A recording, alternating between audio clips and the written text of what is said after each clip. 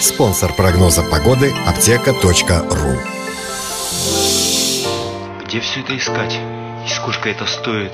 Дешевле, чем ты думаешь. Все закажем на аптека.ру. Аптека.ру. Всегда выгодно.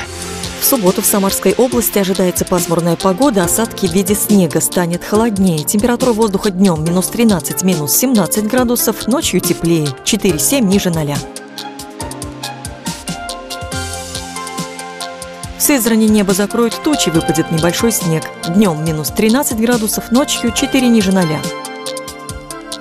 В Тольятти пасмурно снег, днем минус 13, ночью минус 6 градусов, ветер южного направления 4 метра в секунду.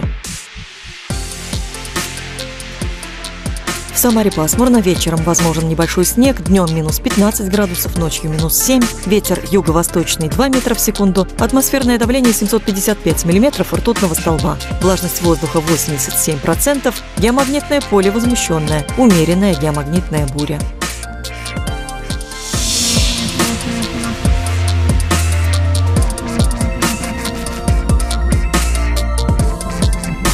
Прогноз погоды предоставлен погодным порталом kismeteo.ru.